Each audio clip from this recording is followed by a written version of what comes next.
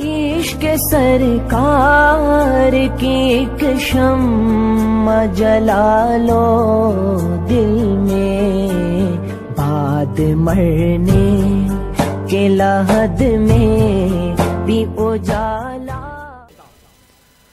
ہم یہ سمجھتے ہیں اللہ کی ناراضگی کا مطلب۔ آسمان سے بجلی گرنی چاہیے۔ اللہ کی ناراضگی کا مطلب۔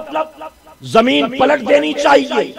کوئی تو عذاب، کوئی تو مصیبت کچھ تو ہو۔ سنے اللہ اللہ کی ناراضگی کا۔ اللہ کی ناراضگی کی دلیل و ثبوت یہی چیزیں نہیں۔ میں ایک ایگزامپل کے ذریعے آپ کو بتاتا ہوں۔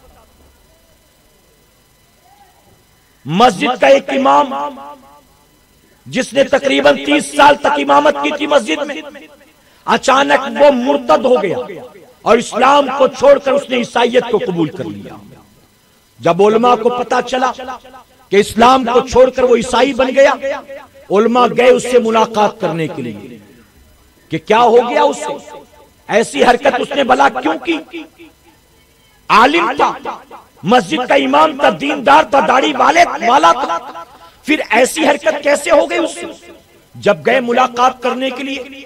اس سے بات چیت کی، اس سے پوچھا کہ بھائی وجہ کیا اسلام کو چھوڑ کر تم عیسائی بن گئے، وجہ کیا؟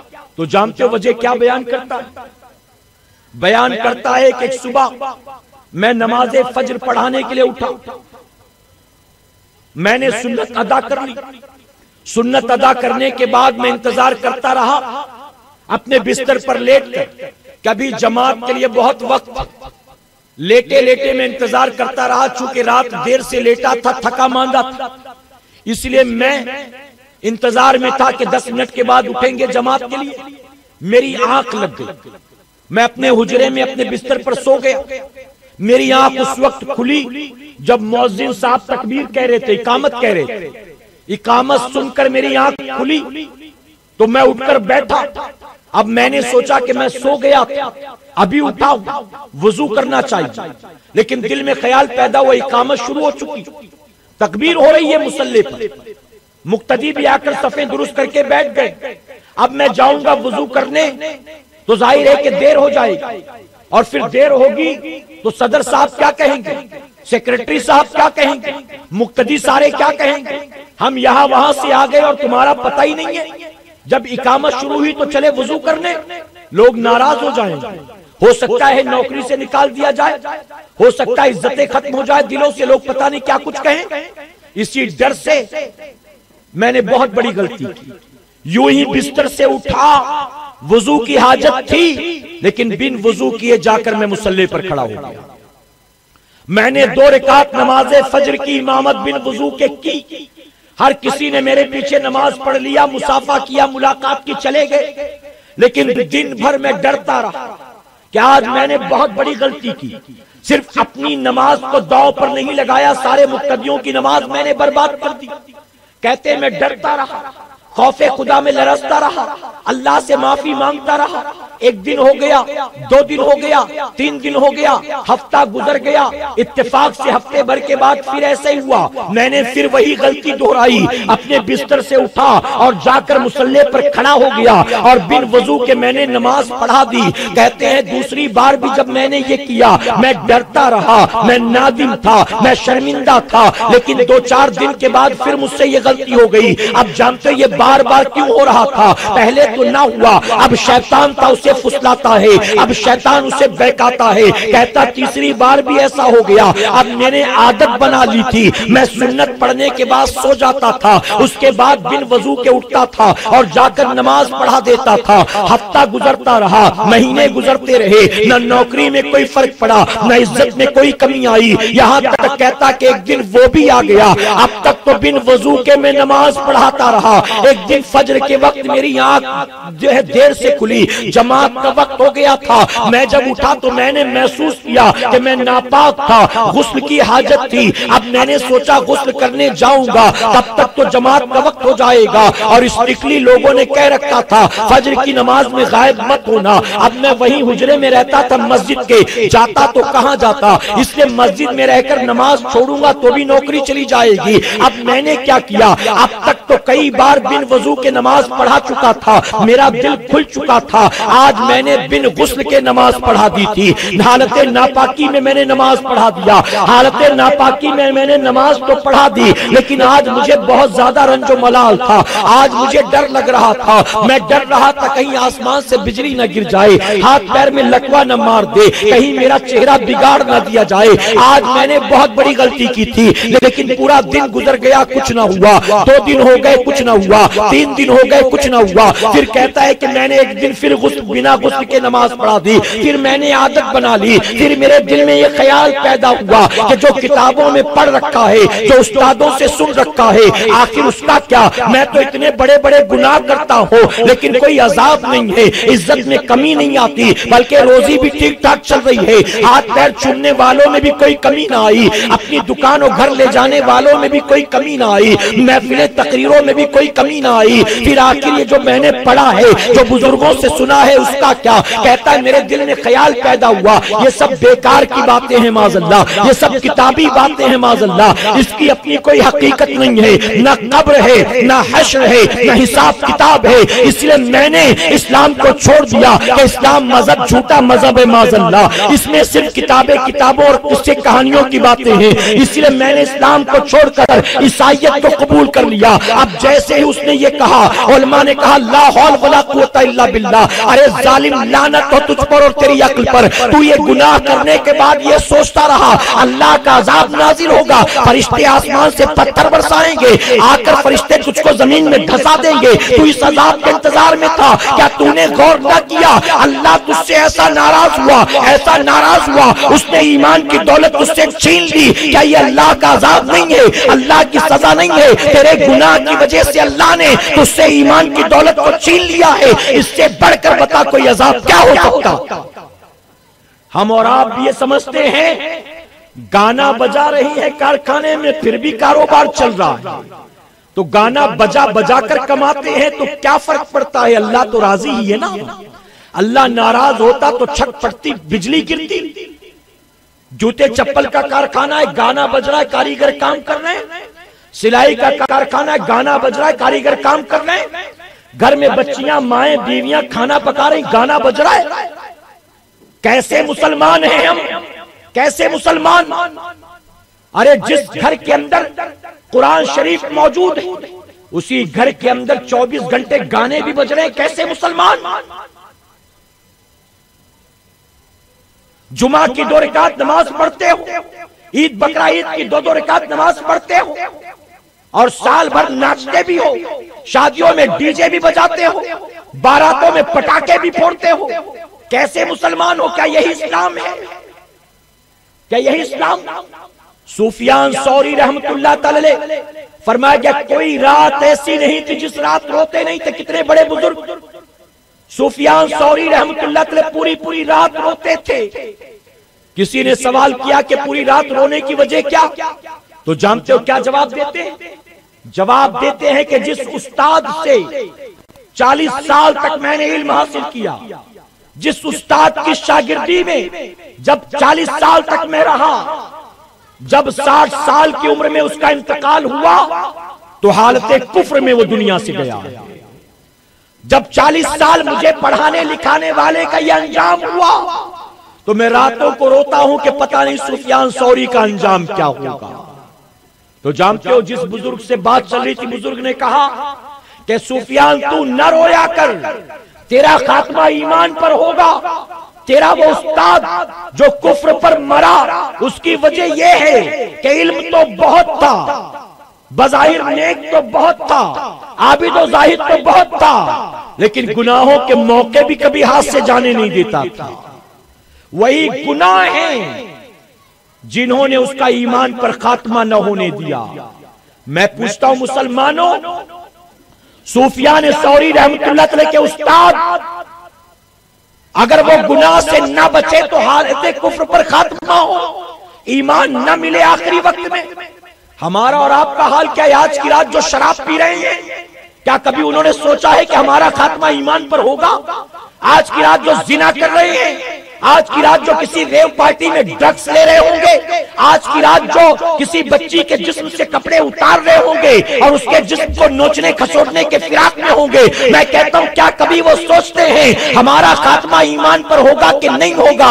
اے سرکار مدینہ کے پردوانوں ہماری آپ کی اوقات کیا ہے؟ ارے بیس رجب کو جن کے نام پر نیاز کرتے ہو، جسے کنڈے کی نیاز کہہ کہہ کے بلاتے ہو، وہ امام جعفر صادق رضی اللہ عنہ اپنے غلام سے کہتے ہیں اے میرے غلام، آج میں تجھ سے ایک سودا کرنا چاہتا ہوں۔ غلام نے کہا، آپ تو مالک ہیں، آپ تو آقا ہیں، میں تو غلام ہوں، میرا سب آپ کا ہے۔ سودا کس بات کا؟ جو چاہیے لے لیں، آپ کو حق ہے۔ فرماتے، نہیں نہیں، سن، میں آخرت کا سودا کرنا چاہتا ہوں۔ غلام نے کہا، کیا سودا بتائیے؟ امام جعفر صادق رضی اللہ عنہ، کون ہے یہ امام جعفر صادق رضی اللہ عنہ؟ اللہ اکبر۔ اے مسلمانوں، امام زین العابدین کے صاحبزادے ہیں۔ امام زین العابدین کے بیٹے ہیں۔ آپ ذرا سوچیں، امام زین العابدین کے خاندان کے ہیں۔ ان کے بیٹے نہیں، بلکہ امام جعفر صادق، امام باقر کے بیٹے ہیں۔ امام باقر امام زین العابدین کے بیٹے ہیں۔ امام جعفر صادق کا مقام کیا ہے؟ ہم حنفیوں کے امام امام اعظم ابو حنیفہ سے کسی نے پوچھا، داڑھی کے بال سفید تھے، سر کے بال سفید تھے۔ کسی نے پوچھا، آپ کی عمر کتنی ہے؟ آپ فرماتے، میری عمر دو سال ہے۔ لوگوں نے حیرت سے کہا، داڑھی اور سر کے بال سفید ہو گئے۔ آپ فرماتے عمر دو سال ہے، آخر ایسا کیوں کہتے ہیں؟ تو جانتے ہو کیا جواب دیا تھا منفیوں کے امام نے؟ امام اعظم ابو حنیفہ فرماتے ہیں، میں نے اپنی زندگی کے دو سال امام جعفر صادق کی خدمت میں گزارا ہے اور میں اپنی پوری اصل زندگی اسی دو سال کو سمجھتا ہوں۔ وہ امام جعفر صادق تقوی تہارت کے پہاڑ نبی کی آل جن کے خاندان میں غوث اعظم پیدا ہوئی جن کی اولاد میں غریب نواز پیدا ہوئی جن کی اولاد میں صابر کلیری پیدا ہوئی جن کی اولاد میں جو ہے محبوب الہی خواجہ نظام الدین اولیاء پیدا ہوئی وہ تقوی تہارت کا پہاڑ امام جعفر صادق۔ خادم سے فرماتے، میں تجھ سے سودا کرنا چاہتا ہوں۔ اس نے کہا، بتائیے کیا سودا؟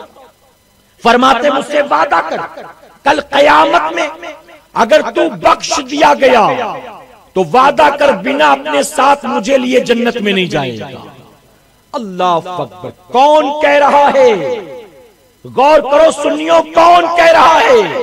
فلمیں دیکھنے والوں، سیریل دیکھنے والوں، رات بھر wifi free data three G four G کے چکر میں YouTube Facebook WhatsApp کے چکر میں اپنی جوانیوں کو اللہ رسول کی نافرمانیوں میں گزارنے والوں یہ کون کہہ رہا ہے ارے جو خود جنتی نہیں ہے جن کی غلامی جنت کی ضمانت ہے وہ امام جعفر صادق ارے وہ اہل بیت ہیں جن کی محبت جنت کی ضمانت ہے وہ خود کہتے ہیں کہ وعدہ کر کل قیامت میں اگر تو بخش دیا گیا تو بن ساتھ لیے مجھے جنت میں نہیں نہیں جائے گا۔ اس کی آنکھوں میں آنسو بھر کہتا ہے، حضور کیا کہہ رہے ہو؟ کہاں آپ؟ کہاں میں؟ آپ میری بات کرتے ہیں۔ ارے، میں تو آپ کا غلام ہوں۔ میں تو سب کچھ آپ پر چھوڑے بیٹھا ہوں۔ آپ دنیا میں مجھ پر اتنی شفقت کرتے ہیں۔ قیامت میں بھی ضرور مجھے جنت میں لے جائیں گے۔ آپ فرماتے ہیں، محبتوں کی بات نہ کر، وعدہ کر۔ جو کہتا ہوں، بتا وعدہ کرتا ہے۔ آخر کرتا کیا کرتا؟ اس نے کہا، ٹھیک ہے، میں وعدہ کرتا ہوں۔ امام جعفر صادق فرماتے ہیں، وعدہ کر کر، کل تو بخش دیا گیا تو مجھے ساتھ جنت میں لے کر جائے گا۔ میں بھی وعدہ کرتا ہوں، اگر قیامت میں میرے مولا نے مجھ پر رحم کیا اور میں بخش دیا گیا تو میں تجھے بنا ساتھ لیے جنت میں نہیں جاؤں گا۔ اور یا ہمارا حال یہ بچپن سے دل و دماغ میں ایک بات کوٹ کوٹ کے بٹھا دی گئی، بیٹا، تم کچھ کرو نہ کرو، تم ہی جنتی ہو کیونکہ تم سننی ہو۔ تم ناچو تو بھی جنتی۔ تم شرابیں پیو تو بھی جنتی۔ تم دوسروں کی بہو بیٹیوں کو چھیڑو تو بھی جنتی۔ تم جلوس کے نام پہ ٹھمکے لگاؤ، تم عرص کے سندل میں ناچو گاؤ، پھر بھی تم جنتی، لگا دم، مٹے گم، تم مزار پر پہنچ کر چلس چلم کے دم مارو، تو بھی تم جنتی ہو، کیونکہ تم سننی ہو، یہ دل دماغ میں جو بات بٹھا دی گئی ہے، اسی نے ہمیں برائیوں کے راستے پر ڈال دیا، اسی نے ہمیں نیکیوں سے روک دیا۔ اے مسلمانوں، سن لو، جو نافرمانیاں کرتا ہے، اللہ رسول کی، اس سے شیطان خوش ہوتا ہے، اور جو شیطان کے منہ پر تماچے مار کر اپنے آپ کو گناہ سے بچاتا ہے اور نیکی کرتا ہے، یقیناً اس سے رحمان خوش ہوتا۔ یہاں شیطان کی خوشنودی میں لگے ہوئے خوش ہو جا۔ تو خوش ہو جا، تو خوش ہو جا۔ حدیث مبارکہ میں آتا ہے، شیطان اپنے شاگردوں سے کہتا ہے، جاؤ، انسانوں کے پیچھے لگو اور ان سے گناہ پر گناہ کرواؤ، ان سے جہنم کے کام کرواؤ۔ شام ہوتی ہے، عصر کا وقت ہوتا ہے۔ حضور اکرم صلی اللہ علیہ وسلم فرماتے سمندر کے سمندر کی سطح پر شیطان کا تخت لگتا ہے۔ اور دن بھر جو اس کے شاگرد تھے، چیلے چپاڑے تھے، جو نکلے تھے لوگوں کو برائیوں کے راستے پر لے جانے، وہ آتے ہیں اور ایک ایک کر کے حساب دینا شروع کرتے ہیں۔ ایک آگے بڑھ کر کہتا ہے، میں ایک بندے کے پیچھے لگا تھا اس کے دل میں شک پیدا کر کر کے کر کر کے کر کر کے آج میں نے اس کا طلاق کروا دیا۔ بیوی کے خلاف اس کے دل میں وسوسے پیدا کر کر کے کر کر کے آج اس کا طلاق کروا دیا۔ تو شیطان کہتا ہے، تو سمجھتا ہے، بڑا کام کر لیا تو نے۔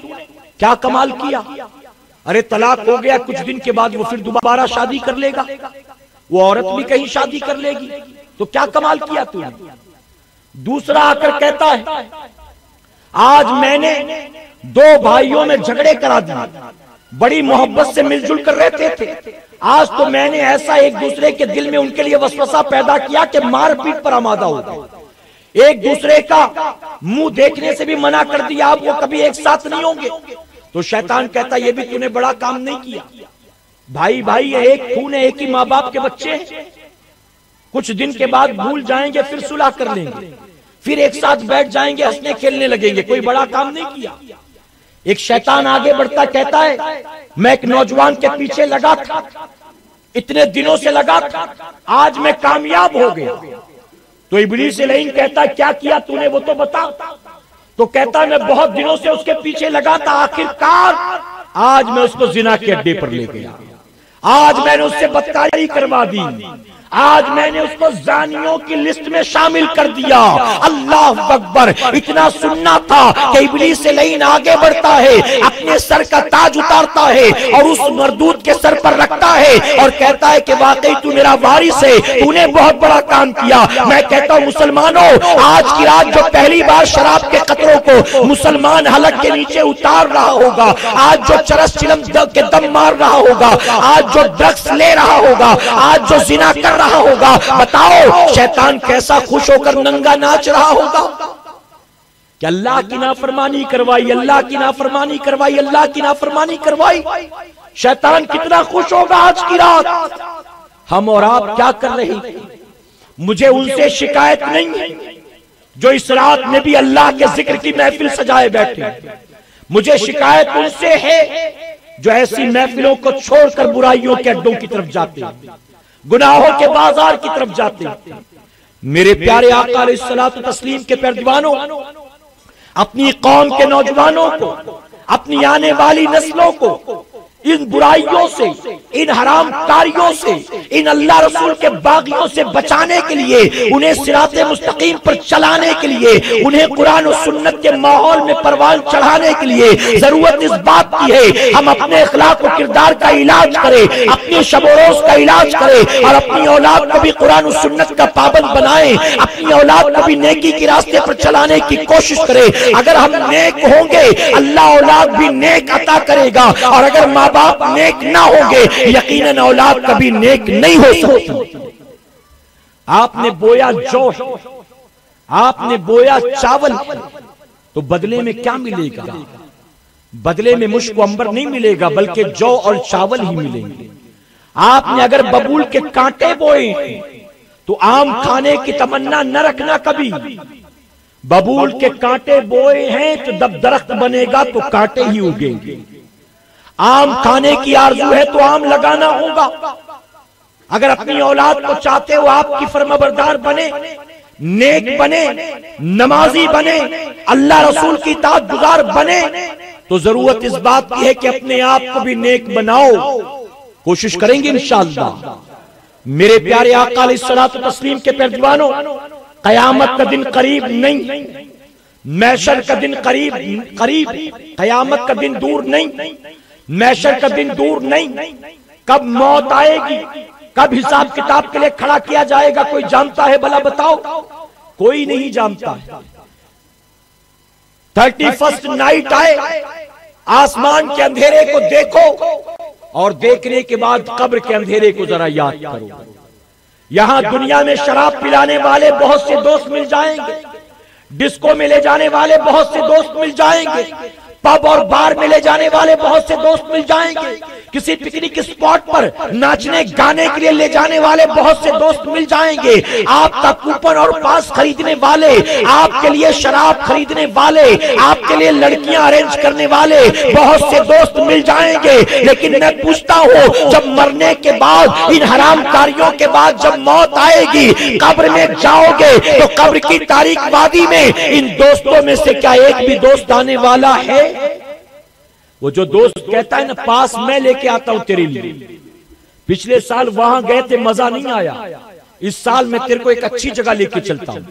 وہاں کا کراؤڈ بہت زبردست ہوتا ہے۔ وہاں تو آدمی کم لڑکیاں بہت زیادہ ہوتی ہیں۔ میں چل تجھے لے کر چلتا ہوں، ذرا سوچیں۔ قبر کی تاریخ وادی میں کیا وہ دوست کام آئے گا؟ آخری بات درج کر کے اپنی گفتگو کو سمیٹوں گا۔ ابراہیم بن ادہم رضی اللہ تعالیٰ آپ کی بارگاہ میں ایک نوجوان حاضر ہوا۔ آ کر کہتا ہے آپ اللہ کے ولی ہیں بزرگ ہیں۔ میں بڑا گناہ گار و سیاکار ہوں۔ آپ مجھے کوئی ایسی نصیحت فرمائیں کہ میرے دل میں گناہوں کے لیے نفرت پیدا ہو جائے۔ مجھے کوئی ایسی نصیحت فرما دے۔ ابراہیم بن ادھم رضی اللہ عنہ فرماتے میں تجھے تجھے چھ نصیحتیں کرتا ہوں۔ میری نصیحتوں کو ترتیب وار سن۔ اس نے کہا فرمائے ابراہیم بن ادھم رضی اللہ عنہ فرماتے ہیں کہ آئندہ جب تیرا ارادہ ہو کبھی گناہ کرنے کا، تو تو اس دن اللہ کی دی روزی نہ کھانا، کسی اور کی دی روزی کو کھا لینا اور پھر گناہ کرنا۔ نوجوان کہتا یہ کیسی نصیحت فرما رہے ہیں آپ؟ رزاق اس کے سوا دوسرا کوئی ہے نہیں۔ پھر میں کس کی دی روزی کھاؤں؟ ساری کائنات کا پالن ہار وہی، چرند پرند کو کھلانے پلانے والا وہی۔ یہاں تک کہ جو اس کو معبود نہیں مانتے رزاق نہیں مانتے انہیں بھی وہی کھلاتا پلاتا ہے۔ آپ مجھ سے کہتے ہیں کہ گناہ کرنا چاہوں تو اس کی روزی نہ کھاؤں تو پھر کس کی روزی کھاؤں؟ تو آپ فرماتے جب تو یہ جانتا ہے تو کیا تجھے تعجب نہیں ہوتا کہ اسی کی روزی کھائے اور اسی کی نافرمانی نہیں کرے؟ تجھے تعجب نہیں؟ حیرت ہے تو اسی کی جو روزی کھائے اور اسی کی نافرمانی۔ پھر آپ نے فرمایا دوسری میری وسیعت دوسری میری نصیحت تیرے لیے یہ کہ جب تو گناہ کرنا چاہے تو تو اس کے ملک سے باہر نکل جا۔ اس کی زمین چھوڑ کر کہیں اور چلا جا۔ پھر جو چاہے تو کر۔ نوجوان نے کہا، یہ کیسی نصیحت ہے میری سمجھ میں نہیں آتی۔ ارے، ساری کائنات کا خالق و مالک تو وہی۔ اس کی زمین چھوڑ کر میں کہاں جا سکتا؟ تو آپ فرماتے، جب اس کی زمین چھوڑ کر جا نہیں سکتا تو اس کی زمین پر چلتا پھرتا ہے اور اسی کی نافرمانی کرتا ہے۔ تجھے حیرت نہیں ہوتی؟ سن میری تیسری نصیحت۔ جب تو گناہ کرنا چاہے، تو کہیں ایسی جگہ چھپ کر کیا کر جہاں وہ تجھے دیکھ نہ سکے۔ نوجوان نے کہا، کیا کہہ رہی ہیں آپ؟ میں گھر کی چار دیواری میں نہیں، میں کسی پہاڑ کے غار میں نہیں، بلکہ لاکھ پردوں میں چھپ جاؤں۔ میں کبھی اس سے اپنے آپ کو چھپا نہیں سکتا۔ میں جہاں بھی ہوں، جس حال میں بھی ہوں، دیکھتا ہے۔ تو فرماتے ہیں کہ پھر حیرت ہے مجھے۔ جب تجھے یقین ہے کہ تو جہاں بھی ہے، جس حال میں بھی ہے، تجھے وہ دیکھتا ہے، تو پھر تو وہ دیکھ رہا ہے اور اس کی نافرمانی کرتا ہے۔ تجھے شرم نہیں آتی؟ میری چوتھی نصیحت سن لے۔ جب اسرائیل علیہ السلام آئے اور کہیں کہ تجھے لے جانے آیا ہوں، چل۔ تو انکار کر دینا کہہ میں نہیں چلتا۔ میں نہیں چلتا۔ وہ بزید ہو کے چلنا ہی پڑے گا۔ تو کہنا کہ ٹھیک ہے، مجھے تھوڑی سی مولت دے دے میں توبہ کر لوں، پھر لے چلے تو نوجوان کہنے لگا، کہاں ہو سکتا ہے؟ یہ کہاں ممکن میری اوقات کیا ہے؟ میں اسرائیل علیہ السلام سے کہوں، تھوڑی سی مولت دے دو، توبہ کر لوں، پھر چلوں گا۔ وہ کہاں مولت دیں گے مجھے؟ تو ابراہیم بن ادم رضی اللہ عنہ فرماتے ہیں، جب تو جانتا ہے کہ توبہ کے لیے مولت نہیں ملنے والی، تو کل کے انتظار میں کیوں بیٹھا ہے؟ آج توبہ کیوں نہیں کر لیتا؟ جب کل ملک الموت آئیں گے، تب توبہ کرے گا مولت ملے گی۔ میری پانچویں نصیحت سن لے۔ جب قبر میں منکر نکیر آئیں تو اس سے حساب کتاب لے۔ تو کہہ دینا، جاؤ، میں تمہارے سوال کا جواب نہیں دیتا۔ جاؤ، چلے جاؤ۔ نوجوان کہتا ہے، میرے کہہ دینے سے کیا وہ چلے جائیں گے؟ ارے، وہ تو سوال کر کے جائیں گے۔ جواب دے سکا تو ٹھیک، نہ دے سکا تو قبر جہنم کا گڑا۔ ابراہیم بن ادم رضی اللہ عنہ فرماتے جب تو اتنا بھی جانتا ہے کہ قبر میں جب سوال کریں گے تو جواب دینا ہی دینا ہے۔ دے دیا صحیح تو قبر جنت کا باغ، نہ دے سکا تو جہنم کا گڑھا۔ جب تو یقین جانتا ہے، تو قبر کے سوال جواب کی تیاری میں کیوں نہیں لگ جاتا؟ ہے پھر فرماتے، میری چھٹی اور آخری نصیحت سن لے۔ جب قیامت میں اللہ فرمائے فرشتوں لے جاؤ اس گناہگار کو جہنم میں ڈال دو۔ تو اکڑ جانا، کہہ دینا، نہیں جاؤں گا جہنم میں۔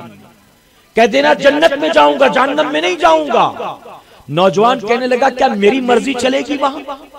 جب اللہ کا حکم ہوگا لے جاؤ! تو میں چاہوں نہ چاہوں فرشتے گھسیٹتے ہوئے لے جائیں گے۔ مجھے جہنم میں جھونک دیا جائے گا۔ ابراہیم بن ادم رضی اللہ عنہ فرماتے ہیں جب تو یہ بھی جانتا ہے کہ قیامت میں تیری کچھ نہ چلے گی اللہ جو حکم دے گا ہوگا وہی۔ تو تو کیوں نہیں توبہ کر کے قیامت کی تیاری میں لگ جاتا ہے؟ کیوں نہیں